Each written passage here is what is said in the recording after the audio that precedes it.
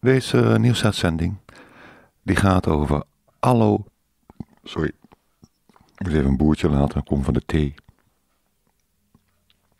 Over allopathie. Oftewel de westerse medische wetenschap.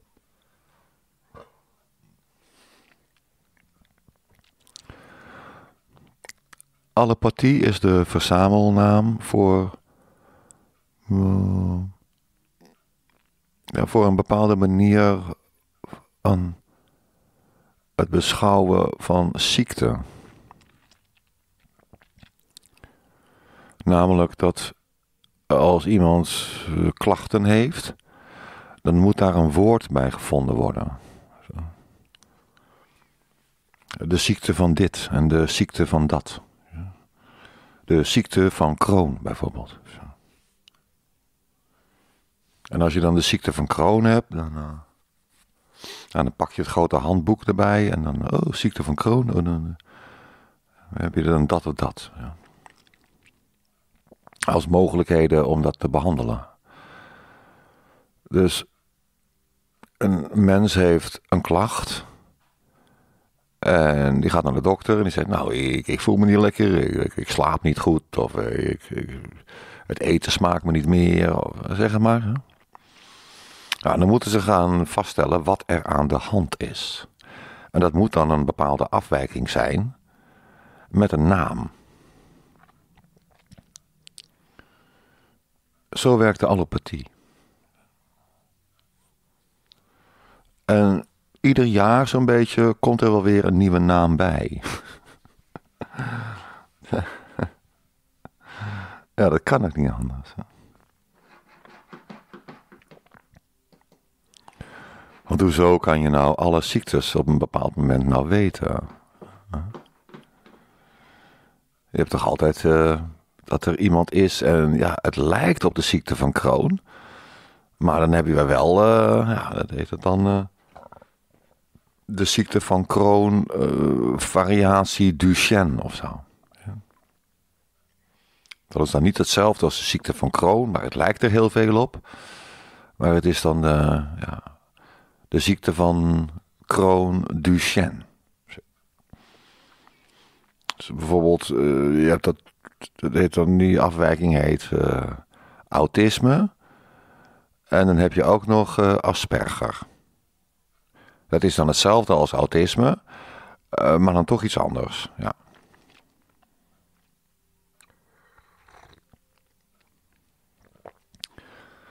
Dat lijkt dan me heel doorvrocht. Hè?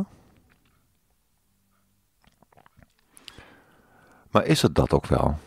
Is het doorvrocht? Of is het grijpen naar woorden, termen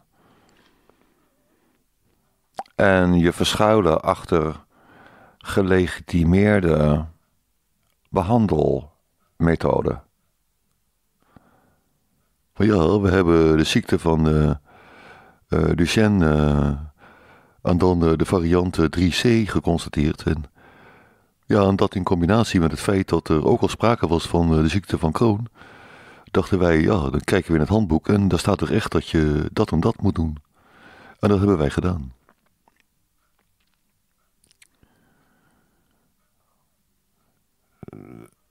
Kijk, als je een computer hebt die het niet goed doet,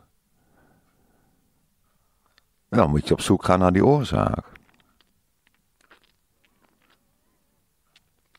Het eerste wat je moet bepalen is uh, of het aan de hardware ligt of niet. Dat kan heel goed, hè?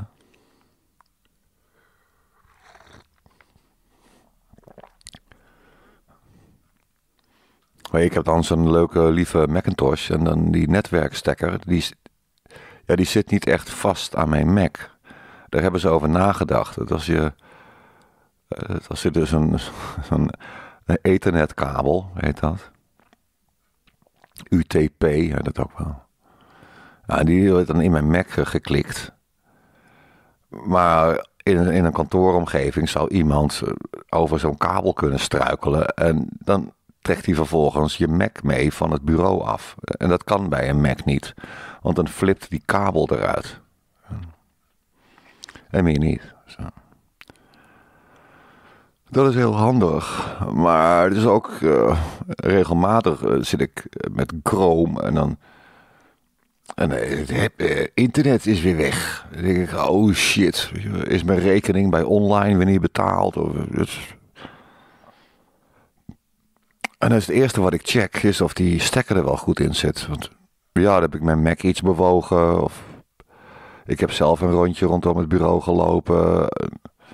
Dan zit die stekker ja, weer een paar millimeter naar buiten getrokken. En dan klik je weer even terug. En dan uh, toeltje. Ja hoor, dan doet hij het weer. Dus dan ligt het aan de hardware.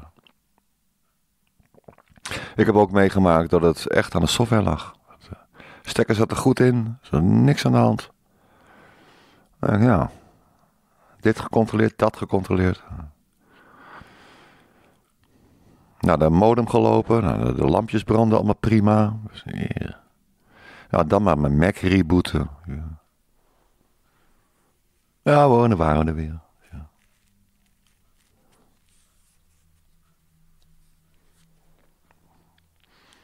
Bij een computer heb je een, duidelijk, een duidelijke oorzaak.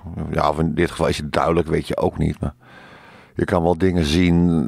Dan kan ik zien dat de, de, de kernel task die, die stond voor belachelijk te blazen. En dat hoort helemaal niet. Ik denk, nou, die kernel task, die, die, nee, dat hoort niet hoor.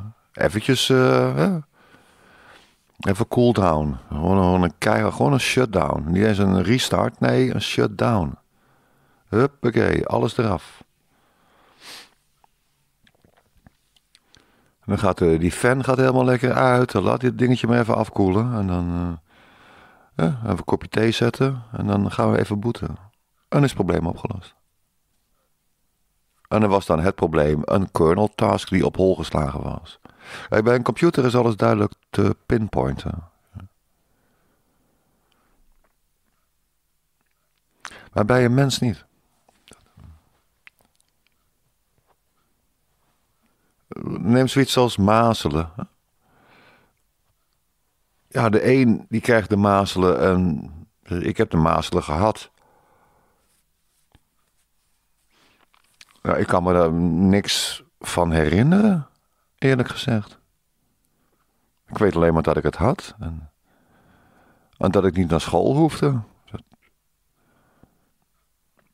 En dat laatste, dat moet ik ontzettend leuk hebben gevonden. En je hebt dan koorts en, je zit onder de rode vlekken en het jeukt. En dan mocht je niet krabben. Ja, goed. Dat was het dan. En mijn moeder was thuis. En mijn vader die werkte dan. In de horeca. En mijn moeder was thuis bij ons. Bij mij en mijn zusje. ja, en ik lag op mijn kamertje in bed. Misschien mocht ik zelfs in de woonkamer liggen. Dat was helemaal feest. Ik ben ziek.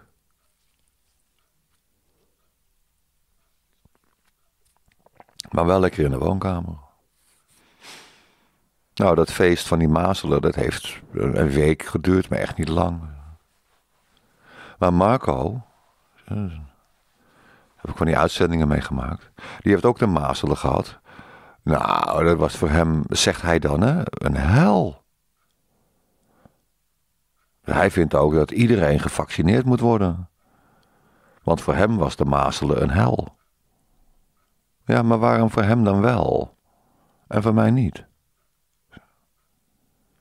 Ik ben dus niet gevaccineerd geweest tegen de mazelen, want dat is pas gekomen in de jaren zeventig. Ja, toen had ik het al lang gehad.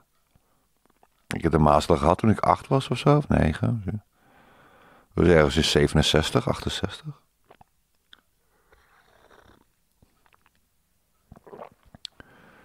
Toen die Beatles die hit hadden van When I'm 60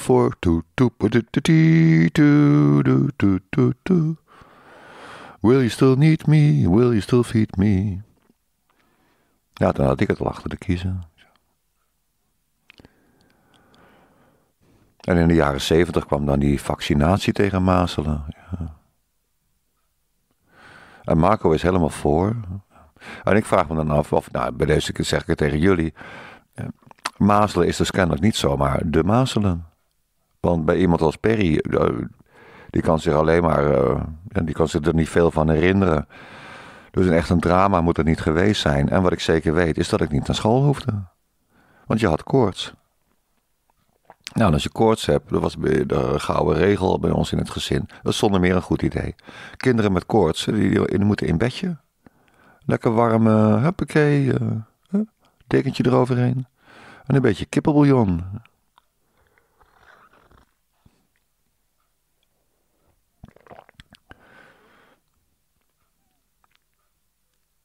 En lekker veel slapen. Ja. En mama komt om de zoveel tijd even kijken. Ik ben toch blij. Die mazelenperiode, dat is voor mij, eh, dat moet alleen maar een leuke periode geweest zijn. En voor Marco was het dus een drama. En daar denkt hij met afgrijzen aan terug. Hij had zelfs blaren op zijn tong. Ja. Dus de mazelen is niet zomaar de mazelen. En dat komt omdat het een lichaam betreft. En niet een computer.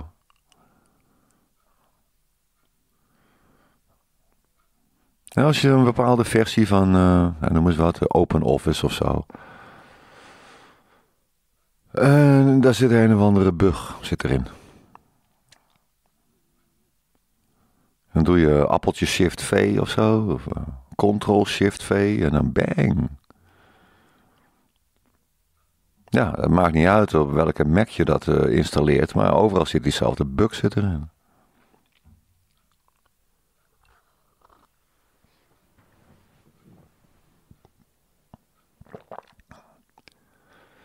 Maar het is niet zo dat een Open Office uh, op een Mac het uh, kloten doet en dan dezelfde versie op een Windows machine heb je niks aan de hand. Ja, in uitzonderingsgevallen is dat denkbaar, maar in de regel niet. Hè? Als je precies dezelfde versie hebt. En ze het netjes geprogrammeerd hebben. Dat is wel de bedoeling.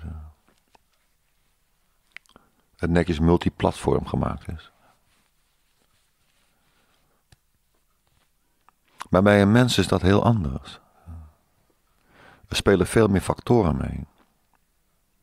Bijvoorbeeld de factor dat ieder mens van nature een eigen afweersysteem heeft tegen indringers van allerlei soorten en maten. En ook tegen ontspoorde cellen, dus kanker. Dat wordt in principe bestreden door je eigen afweersysteem. Dus als je kanker hebt, dan wordt er gezegd, ja, dan ben je in contact geweest met een carcinogene stof. Dat is een stof die levert je dus een kanker op. Je kan ook zeggen, nee, je afweersysteem heeft het verzaakt. Die heeft de boel uit de hand laten lopen.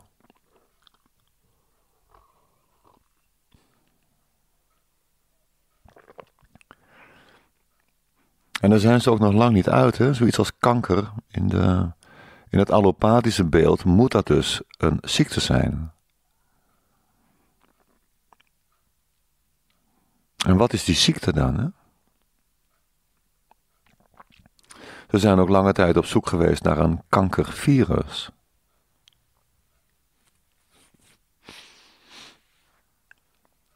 Want je had een bepaalde soort virus en het waren, als ik me goed herinner, retrovirussen. Dus een bepaalde klasse van virussen. En die retrovirussen die zouden verantwoordelijk zijn voor kanker. Want dan hebben ze weer wat. Hebben ze weer een naam. Ja, u heeft een retrovirus. En dat gaan we bestrijden met het cyclon B. of het cyclon C. Of, uh, een of andere toxische stof natuurlijk. Want dat virus moet eraan kapot.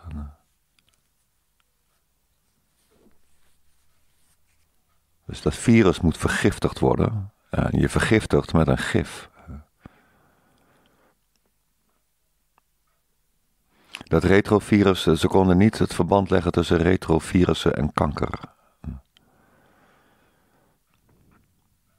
En toen kwam die Paul Gallo, die eerst gewerkt had aan het kankervirus. Dat moest dan een retrovirus zijn. En toen het verband tussen het hebben van een retrovirus en het oplopen van kanker niet aangetoond kon worden, toen heeft hij het over een andere boeg gegooid en toen werd het dus uh, dat het HIV verantwoordelijk was voor AIDS. En HIV is een retrovirus. Ja, of ik dat woord retrovirus goed heb, weet ik niet. Maar, maar zo zat het verhaal wel in elkaar. Dus een groep van virussen die eerst ervan beticht werd dat het kanker veroorzaakte. Dat bleek niet waar te zijn. En toen kwam Paul Gallo met het geniale idee dat het verantwoordelijk was voor AIDS.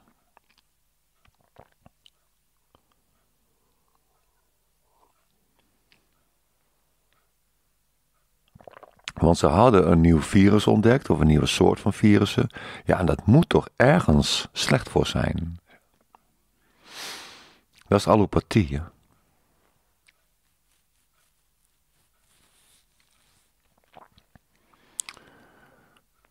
En dan even dan over die, die medicatie die je dan krijgt. Als jij een of andere virustoestand hebt, dan krijg jij een medicijn, in de regel. Want een virus kan je niet wegopereren. Dan krijg jij een medicijn. En dat medicijn, dat heeft een werking en het heeft bijwerkingen. Nou ken ik een man en die is afgestudeerd in de farmacie. En dat is een studierichting.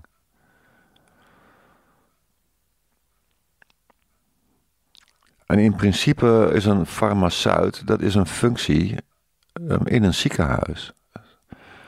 Een, farmaceut die kan bepalen, de, artsen constateren dan dat het A, B, C, D, E aan de hand is. En de patiënt die krijgt al pilletje X1, X2 en X3. En dan komt de farmaceut erbij en die gaat bepalen welke pil er dan bij moet gezien de nieuw geconstateerde ziekte. Dus een farmaceut is een functie.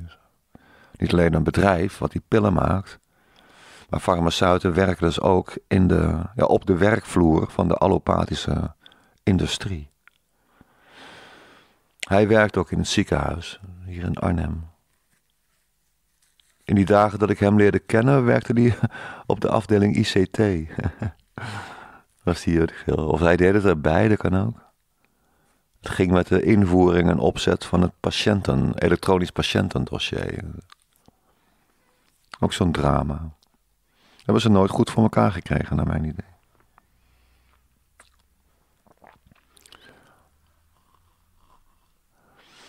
Veel te centraal opgezet, naar mijn idee. Ja.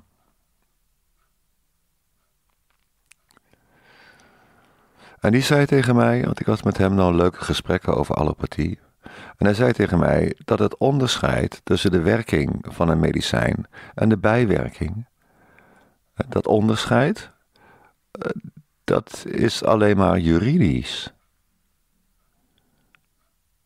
Meer niet. Een bepaalde stof heeft een werking.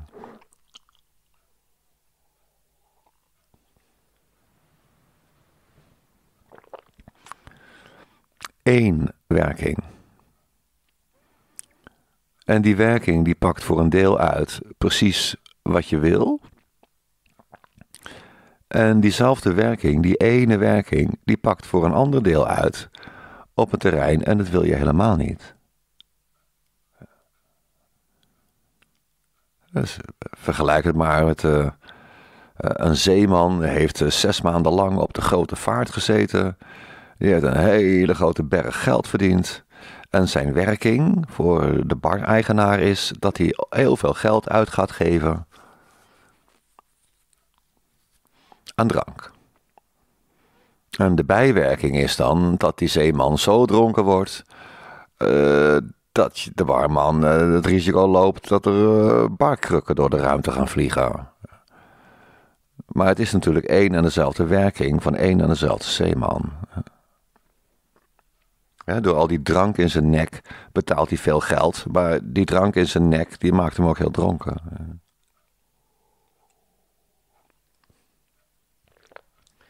Je kan moeilijk gaan denken, ja, ik wil eigenlijk bier gaan tappen waar, dan, uh, ja, waar een zeeman dan wel voor betaalt.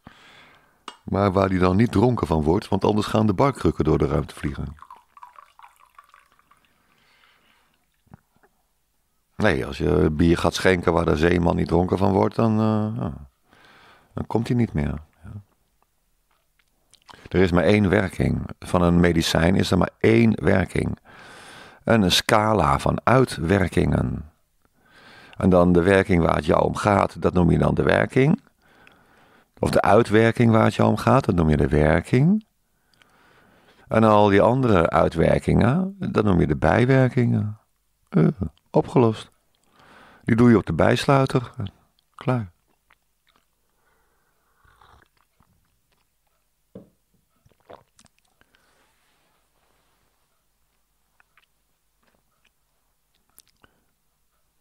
Ja, ik laat even een pauze vallen. Dit is een hele belangrijke die ik net uitsprak.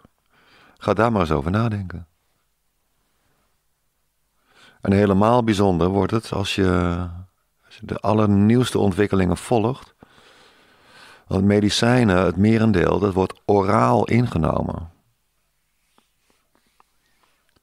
En dat betekent door de mond. Hè? Denk maar aan orale seks. En dan kan je het gelijk onthouden. Dus orale inname. Ja, dat betekent dat die pil eh, of drankje, het gaat dus door de mond, dat komt in de maag. En dan gaat het door uh, die, die kringspier die er onderin zit, gaat het het twaalfvingerige darm in. En dan komt het in de dunne darm. En dan komt het in de dikke darm. Ja. En dan wordt het opgenomen hè, in dat hele. Eventueel in de maag wordt het al opgenomen. Ik dacht, het aspirine wordt al in de maag opgenomen, dacht ik. Bepaalde hè, worden al, dingen worden in de maag al opgenomen. En andere middelen niet. Die worden pas opgenomen in een basische omgeving. Want de maag is zuur. Hè? heeft een pH-waarde van 4 of zo. Niet zo zuur als citroensap, dacht ik. Maar, wel zuur. Maar veel van die pillen worden opgenomen door het, eh, ja, het maag-darmkanaal. Maar in de darmen met name, daar zitten allemaal beestjes. Of ja, ze zijn niet beestjes, plantjes. Flora heet dat. Darmflora. En het darmflora verschilt van mens tot mens. Het heeft te maken met je, met je genetica, een lichamelijke constitutie. Het heeft ook te maken met je eetpatroon. Het heeft te maken met ja, hoeveel alcohol je drinkt. Dat heb ik zelf geconstateerd. Die belachelijke hoeveelheid alcohol weglopen tanken. Doe dat vooral niet na, tenzij je zin hebt om dat ook mee te maken. Dan moet je het dus doen. Maar luister dan nog even naar die uitzendingen van mij over wat je. ja, kijk, als je er toch van plan bent, ga je toch wel doen. Dus, uh. Maar als je zoveel alcohol drinkt zoals ik, en ik dronk dan het bier, dan krijg je ook nog die hopmeuk naar binnen. En dan gaat je darmflora aan de gort, man.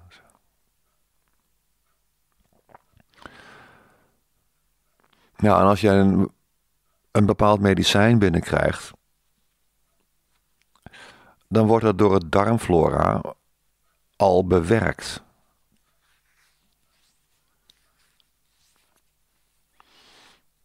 dat kan hele verrassende gevolgen opleveren.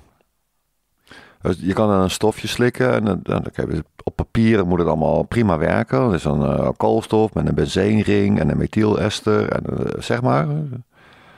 Iets grappigs erin met uh, fosfor of zo, zeg maar. En dan komt zo'n heel mooi moleculetje, netjes uitbedacht door een farmaceutische industrie toestand tak. En dat komt dan in je maag-darmkanaal en dan gaat de darmflora er eventjes iets anders van bouwen. Ja, die haalt een methylester er bijvoorbeeld heel snel vanaf. Ja, dan, dan zit je dus een heel ander medicijn te consumeren. Snap je me nog?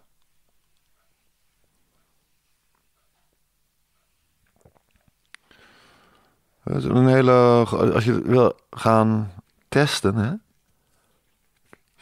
Een hele makkelijke test die je kan doen is dan eh, moet je het verschil gaan meten tussen als jij wiet rookt en als jij wiet gebruikt om daar wietcake van te maken. Dus wiet gaan eten. Ook als je nou niet rookt en geen tabak rookt, kan je dit experiment nog steeds doen. Dan neem je iets van hash. En neem je een hashpijpje.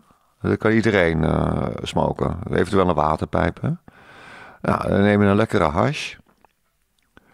Een patiënt op tafel leggen. Een kopje hier bij de Omigo. Iets lekkers, pollen of zo. Super pollen. Kop je een lekkere hash. En dan rook je die hash. En het maakt niet uit wanneer het rookt, maar het effect is altijd hetzelfde. En dan ga je een keer een hashcake maken. Heel anders. Ja, vind je het gek? Want dat neem je oraal in. Dus die cannabinoïde die erin zit, eh, die verschilt per hash, by the way. Daar moet je ook precies dezelfde nemen. Want dat werkt weer anders dan afgaan. En dat werkt weer anders dan... Hè? Er zitten andere cannabinoïden in. Maar die cannabinoïden, die worden door je darmflora uh, eventjes uh. En wat krijg je dan? Ja, dan krijg je hele rare cannabinoïden.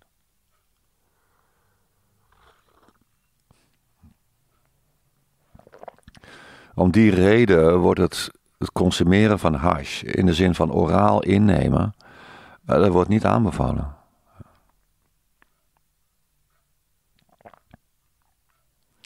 Je kan het veel beter roken.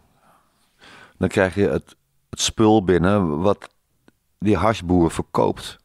In plaats dat je daarvan een uh, ja, verbouwde variant uh, in je bloedbaan krijgt. Met alle gevolgen van dien.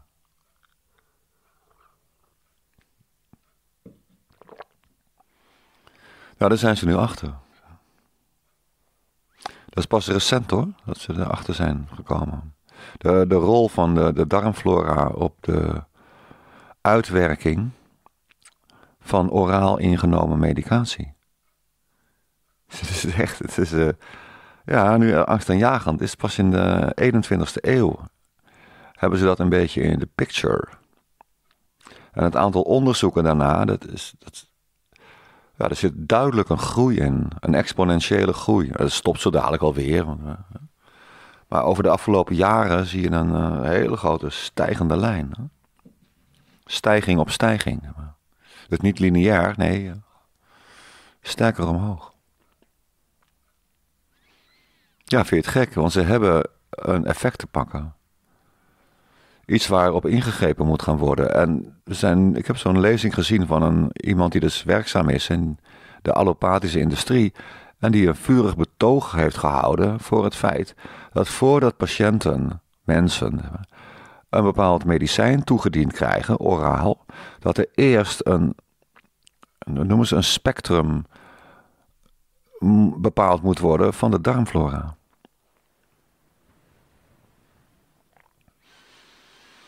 Zodat je een voorspelling kan gaan doen over hoe het medicijn gemodificeerd zal worden door de darmflora of het darmflora. Ik denk de darmflora. Maar dat weet ik niet. Het darmflora. Darmoerwoud.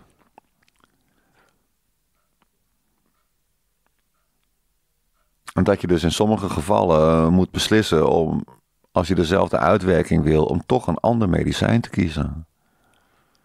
Wat alleen maar werkt bij patiënt met darmflora spectrum uh, A9 of zo.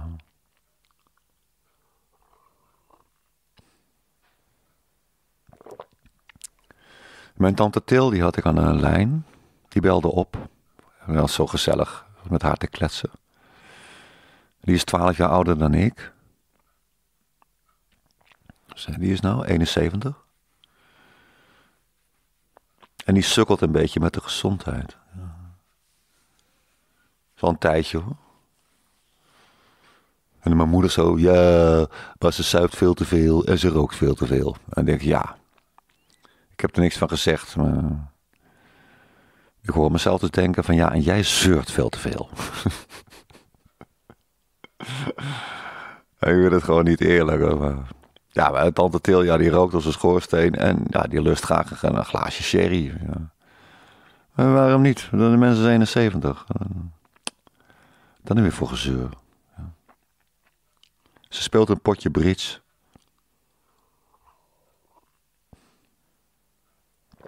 Ze heeft verzuurde benen. Maar ze kan nog auto rijden en uh, kom op. Ze is er 71. Ja, ik, denk niet dat die uh, eh, 103 gaat worden. Maar dat is een fragiel uh, persoontje, man. Je kan er bijna doorheen kijken.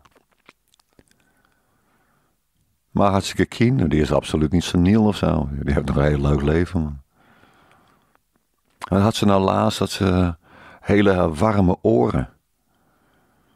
Dus er zat een inflammatie. Hè? Is ergens een een of andere beestje zit erin. En het lichaam gaat erop reageren door er heel veel bloed naartoe te pompen en, uh, en de temperatuur op te voeren. En zij met die oren naar de. Ja, natuurlijk. Zij met haar oren naar de huisarts. Ja, die was wel een beetje onder de indruk. Die zei: Jeetje. Hé, hey, daar is iets aan de hand. Je hebt een ontsteking in je oorschelp. En als dat naar binnen slaat, naar je, je binnenoor, ja, dan is lijden in last. Dat moeten we niet hebben. Dus toen kreeg ze antibiotica voorgeschreven. En toen dacht ze al, oeps. Want daar reageert ze helemaal niet goed op. Hè? Nou, dat hoorde ik zo. Ik zei, antibioticum? Ja, ze.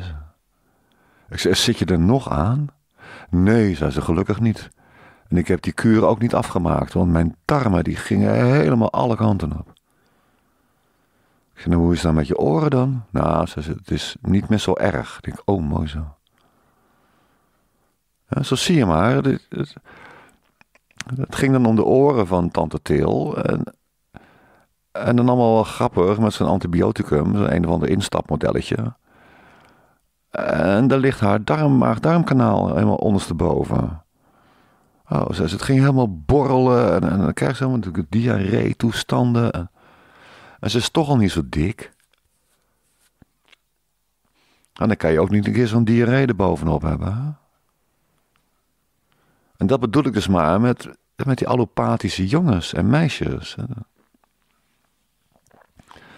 Het loopt maar pillen voor te schrijven alsof het niks is. En dan, oh, oh, oh. Ja, dit hadden we niet verwacht. Nee. En daarom ben ik daar niet zo enthousiast van. En dan zeggen mensen tegen mij, ja, dan ben je zeker voor homeopathie of zo. Nou, uh, bijvoorbeeld. Ja. bijvoorbeeld. Niet, niet dat het per se moet, maar... Maar wel de mens zien als één groot geheel. En niet uh, tante Til heeft een probleem met haar oren. Nou, dan gaat antibioticum erin. En dan gaat die antibioticum die gaat alleen maar werken in haar oren. Nee, natuurlijk niet. Die antibioticum die gaat overal werken. En antibiotica, dat zijn toxines. Dat zijn giften.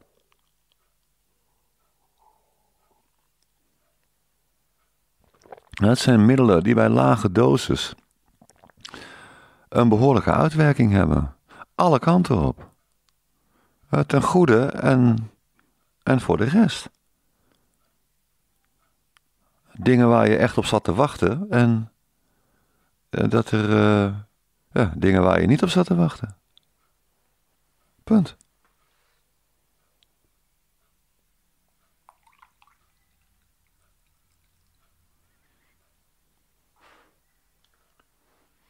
En die allopaten die doen er allemaal erg makkelijk over, hoor. Oh, u heeft MS? Nou, dan krijgt u dit.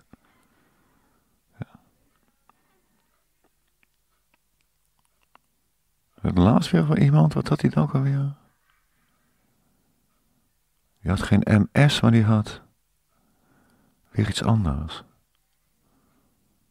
Is dan ook weer zo, oh, zo'n woord, weet je wel?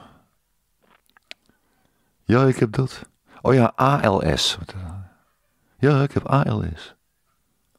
Oh.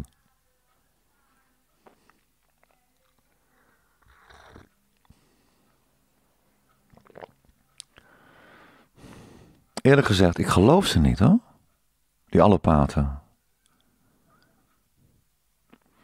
En dan kan je zeggen van ja, homeopaten, dat zijn maar een stelletje kwakzalvers, want ja, de hoeveelheid werkzame stof, dat is zo belachelijk weinig dat je net zo goed uh, bronwater kan drinken.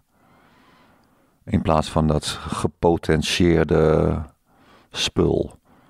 Een uh, Cyankali C30 of zo. Ja, kan je zeggen. Maar ik ben dus meer voor een, maar een, een aanpak over het hele spectrum. Ik ken het verhaal van een man en die woonde in Den Haag. En die had allerlei eh, lastige klachten en toestanden. En, en ten einde raad, want de allopaten, het ziekenhuis en de huisarts en zo, hè, dat hielp allemaal geen donder. Hij bleef die klachten maar houden. En toen belde hij uiteindelijk met een iatrosoof. Vraag me even niet wat die nou precies doen, maar... En die die zat in Duitsland. Um, nou, hij is uitgelegd van guten Tag, uh, mir geht es nicht so gut und uh, ich möchte, möchte gerne zu ihr. Ik moet een beetje oefenen met mijn Duits, want zondag ben ik de lul. Dan moet ik meedoen met die Duitsers. Ja, toen zei die iatrosoof, nou, alles is goed man, kom maar. Maar kom dan wel te voet. Wat? zei die Hagenees. Ja, zei die iatrosoof. Kom maar lopen. Hoe zover is het niet. Van Den Haag naar, die woonde ergens, uh, weet ik veel, in de buurt van Venlo, over de grens of zo. Zal het geweest zijn, 250 kilometer lopen.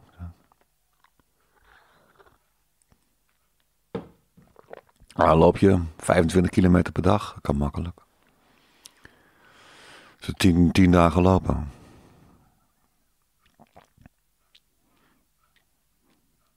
Nou, zei die man, dat is goed. Nou, dan kwam hij dus na een dag of tien, elf, twaalf, komt hij bij die iatrosoof. Nou, die iatrosoof van, nou, uh, guten Tag, uh.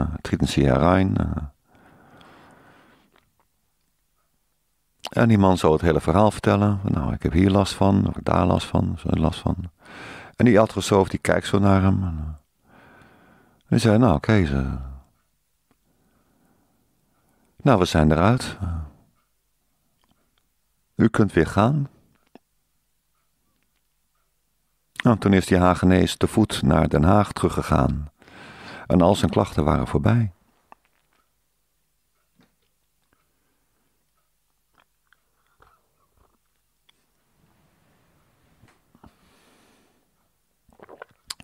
Kijk, zo kan het ook.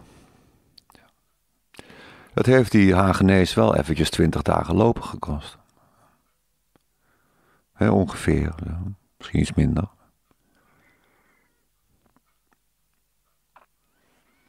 Maar hij was wel na jaren gesukkeld te hebben en dan weer dit en dan weer een afspraak maken en dan gaan we weer onderzoek doen en ja, als het niet de ziekte van Crohn is, dan is het de ziekte van Buitenvoorde. En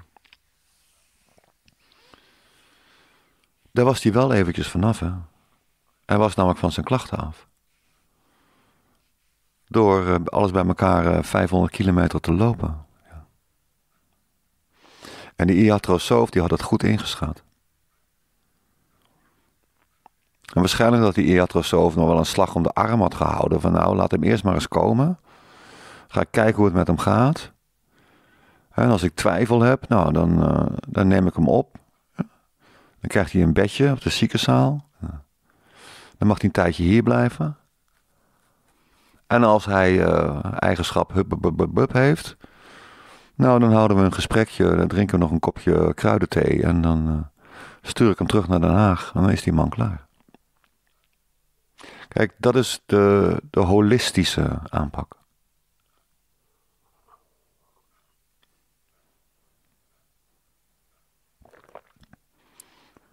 En ik ben dan voor een medische wetenschap waarbij de, er ruimte is voor al die andere disciplines. Zoals iatrosofie en nou, homeopathie. Iriscopie ook. In de iris kan je ook dingen zien hoor. Kan je ook op ideeën brengen. Acupunctuur. Acupressuur. Zoveel manieren om een mens zijn lichaam te stimuleren. Want dat is een belangrijke van de allopathie. Die stimuleert het lichaam niet. Nee, die neemt functies die het lichaam zelf had moeten uitvoeren, neemt die functie over. Van, oh, jouw lichaam maakt niet genoeg ijzer aan. Nou, hier heb je ijzertabletten. Typisch voorbeeld. Mijn moeder had dat. Eh, bij de... Mijn moeder die loopt al bij de allopaten. Ja, dus vanaf. Ja, dat ik dat weet.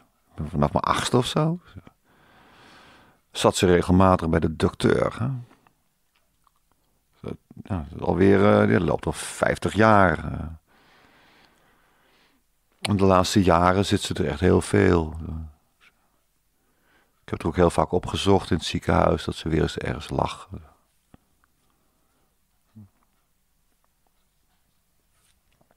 Niet leuk voor mijn moeder natuurlijk. Nou had ze nou laatst, dat ze dat een arts gezegd tegen haar van ja, uw ijzergehalte in het bloed is wel aan de lage kant. Daar gaan we wat aan doen. Dus toen kreeg ze de pillen voor. En toen werd ze me toch ziek, joh. En in eerste instantie uh, had die arts zoiets van: ja, nou ja, dat hoeft. Uh, ja, het is wel toevallig dat het. Uh, nadat u die pillen bent geslikken, dat u zich helemaal niet meer zo lekker, echt nog veel minder voelde. Maar laten we maar even ja, niet gelijk eh, in paniek raken. Maar dat vervelend voelen, dat bleef maar. En toen nou, kreeg die dokter wel zo'n beetje het idee van... nou, misschien toch maar even proberen om ermee te stoppen. Heel voorzichtig dan, hè? Want toen stopte mijn moeder met het innemen van die pillen... en binnen een paar dagen waren de klachten voorbij. Oh, die dokter, ja. Is wel uh, toeval op toeval, hè? En mijn moeder dan tegen mij heel vrolijk. Nou, en dan hebben ze toch ontdekt dat er uh, ja, in gevallen zoals ik. hebben mensen een uh, lage bloedijzergehalte, spiegel. En, en dat is dan toch natuurlijk en moet je niet verhogen. En ja, en door mijn geval zijn ze daar in het ziekenhuis van Almere achtergekomen. Nou, ik heb er niks van gezegd. Maar mijn moeder is geen proefkonijn. Hé? Mijn moeder is mijn moeder namelijk. En die heb ik nooit gehoord dat zij van plan was om haar uh, ja, een carrière te beginnen als proefkonijn.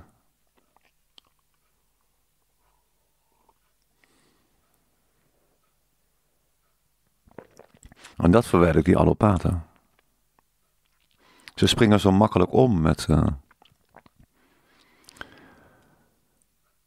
ja, met hun klanditie. Oh, u heeft dit. Oh, dat zie ik al. Ja, nou, dan gaan we die en die pillen. Volgende.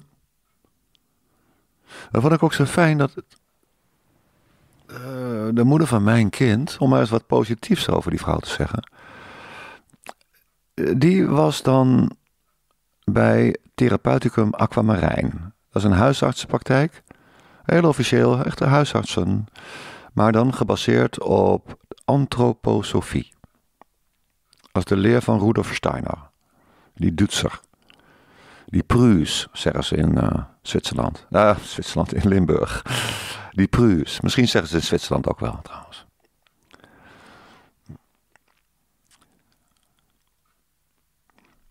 En de moeder van mijn kind, en toen het kind er dan was, als dat kind maar wat had, hè, dan die, moeder, oh, oh, dan moeten we naar de huisarts, oh, oh, die had dan, uh, hoe heet dat? Munchausen by proxy. Die moeder dan, hè?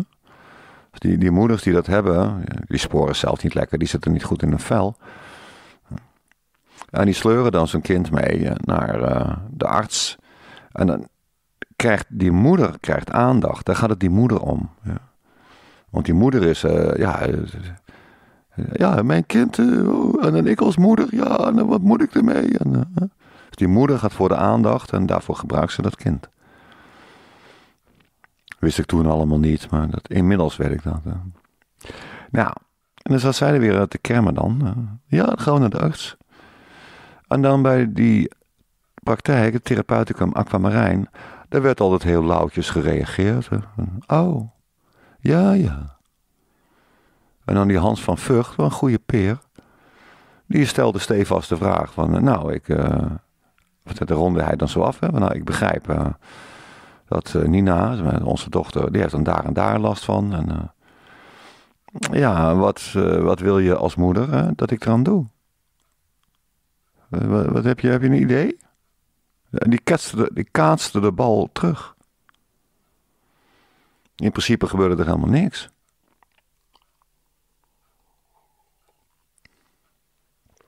In principe werd daar gereageerd met de droge opmerking van ja, een, een, een lichaam heeft het recht om ziek te zijn. Ziek zijn hoort erbij.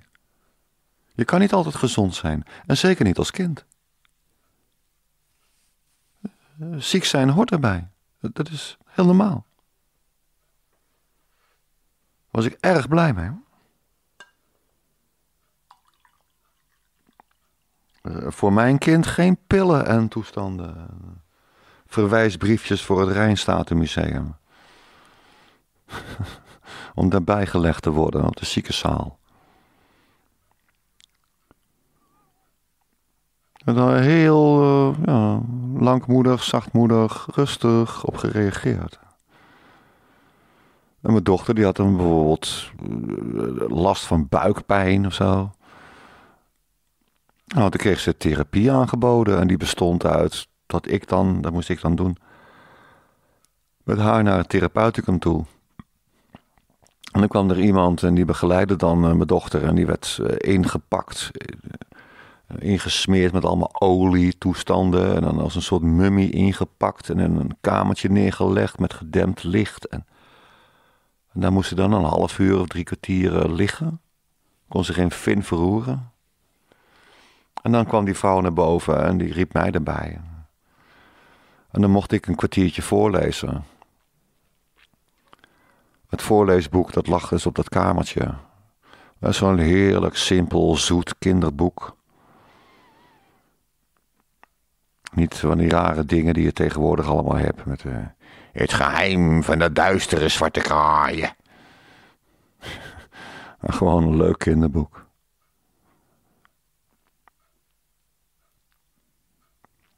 Met vogeltjes en meertjes. En, uh, ik denk dat het lekker weer is. En een mooie wandeltocht. En dan kwam na een kwartiertje kwam die dame dan het kamertje weer binnen en dan werd ik eruit gestuurd. Dat zorgde zij ervoor dat mijn dochter weer helemaal aangekleed werd. En al die spullen die er haar nodig waren, die werden in een of andere tas gestopt en die hing daar in een kast. Eh, voor de sessie van een week erop. Elke week. Niet, uh, niet een jaar lang of zo, maar wel een aantal keren hoor. Dat was de buikpijntherapie. Ja, wat was het nou? Ja, helemaal niks.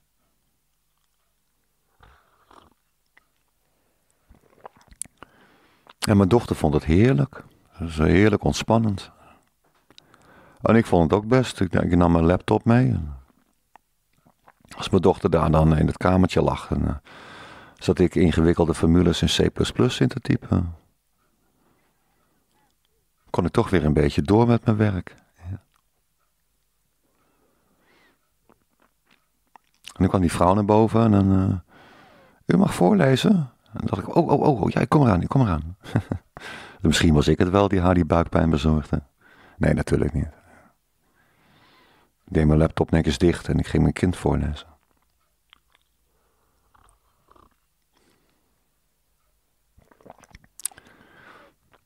Aqua, therapeuticum Aquamarijn, dat, uh, daar heb ik goede herinneringen aan.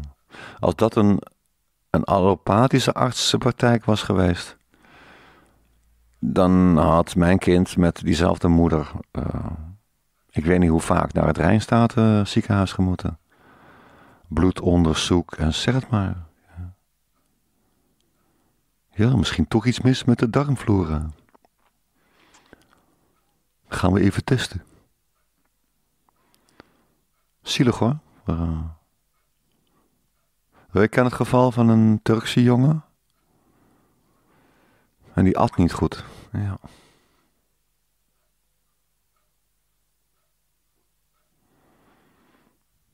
En gingen ze ook aan alle kanten onderzoeken. Dat vond ik heel zielig. Door dat jongetje was ook echt, echt klein. En Turken zijn al niet zo groot. Maar hij was wel super klein hoor. Ja, hij at niet. Ja, niet genoeg. Niet goed. En het enige wat ze dan in het Rijnstaten uh, ziekenhuis kunnen verzinnen is dat het ergens aan ligt. Hij heeft de ziekte van uh, Michelstein of zo.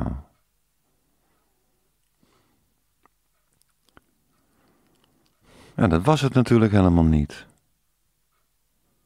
Ze hebben nooit gekeken naar de totale constitutie van het jongetje. Ze zijn nooit bij hem thuis geweest. Eh, hij woonde in een hele kale woning. Ik ben bij de jongen thuis geweest. Zijn tante die maakte bij ons schoon. Elke twee weken. En zijn moeder, die kende ik ook. En hij zat bij mijn kind in de klas. Natuurlijk kende ik dat jongetje.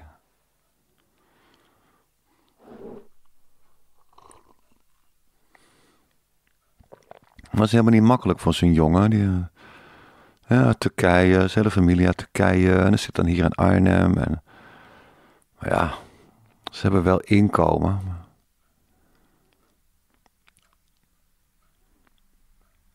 En ze zitten in een hele vreemde cultuur. En ja, het is allemaal niet makkelijk, joh. Ja, die, die Hollandse jongens, eh, die, vinden het moeilijk om om te gaan met uh, al die Marokkaanse kinderen. Maar wat dacht je van die Turkse kinderen? Die vinden het ook niet makkelijk hoor, met die Marokkanen.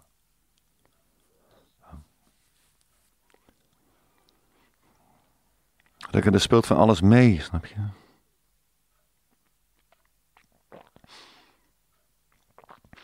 Ik had Sammy een keer, uh, zijn moeder, die. Uh, het, was, het was studiedag. Dus dan, gaat dat onderwijzend personeel moet dan op studie. Ik snap ook niet waarom, maar. Maar dat moet dan. En dan zitten die ouders opgescheept. Uh, ja, zomaar meestal erg onverwacht. Ja, dat wordt wel aangekondigd van tevoren, maar. Dat is ook zo'n schema waar je niet echt een pijl op kan trekken. Ja, en zijn ouders, dus, uh, die, die konden niet die dag voor hem passen, voor op hem passen. Of hij dan bij ons kon, ja, zei ik ze best. En toen waren we naar Utrecht geweest, dat was allemaal hartstikke leuk en gezellig. En toen kwamen we terug in Arnhem en we hadden honger, iedereen. Dus mijn dochter was erbij en de moeder van mijn kind en ik dus, en Sammy. Dan zaten we bij snackbar Apollo. Nou, dan vroeg ik aan Sammy, wil je eten? Ja, hij wilde wel een patatje. Ja, wilde niet een snack bij. Nee, zei hij, want ik mag geen varkensvlees. Ik zei, ja, dan neem je toch een rundvleeskroket. Ja, ze Sammy me. Ja. Nee, voor alle zekerheid maar niet. Kijk, dat vind ik wel zielig dan, hè?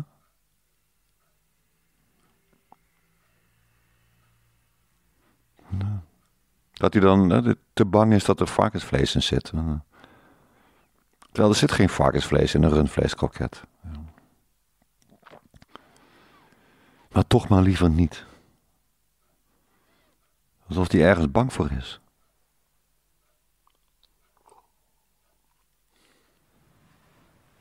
Kijk, dat zou ik meenemen in, in een holistische benadering voor het feit dat het kind niet goed eet.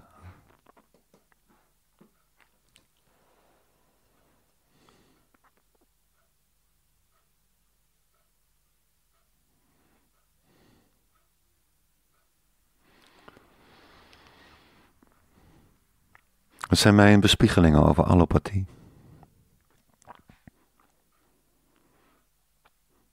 En wat je nu kan zien, dat is erg, erg sneu voor de. Oh, zeggen, erg sneu voor de Nederlandse, ja, de westerse mensen. Is dat al die andere inzichten in het helen. Vroeger heette een dokter ook een heelmeester. In het helen, het weer een geheel maken van het lichaam dat die in een kwaad daglicht zijn gezet. Dat mensen daar hun twijfels bij hebben. Ja, je leest in de krant, het zijn allemaal kwakzalvers. En... Ja, maar denk nou eens even terug aan het verhaal van mijn moeder.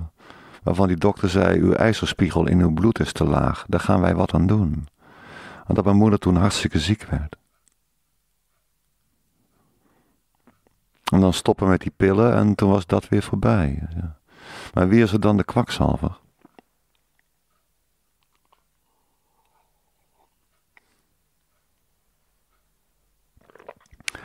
Mijn vader, die hebben ze geopereerd.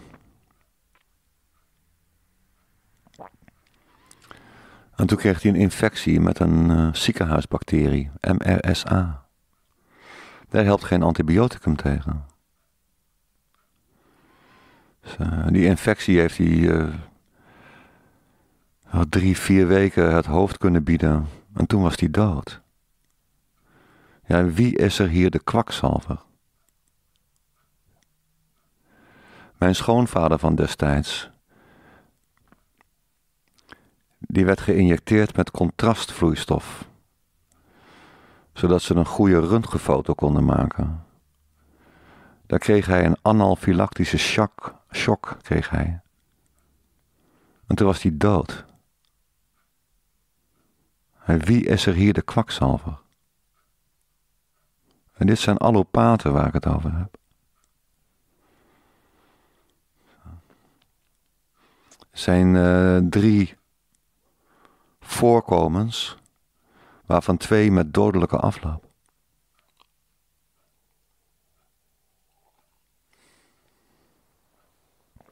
En wie zegt daar wat van? Schnappie? Ik had al gezegd, het zou een serieuze uitzending worden, toch? Of was ik dat vergeten te zeggen? Nou, bij deze. Dit was een hele serieuze uitzending. Want ik ben kritisch op allopathie.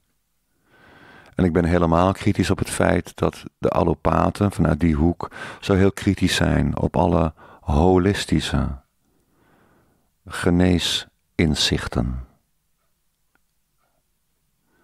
Dank jullie wel voor het luisteren. En op zijn hamburgers zag ik tjus en dag lieverds.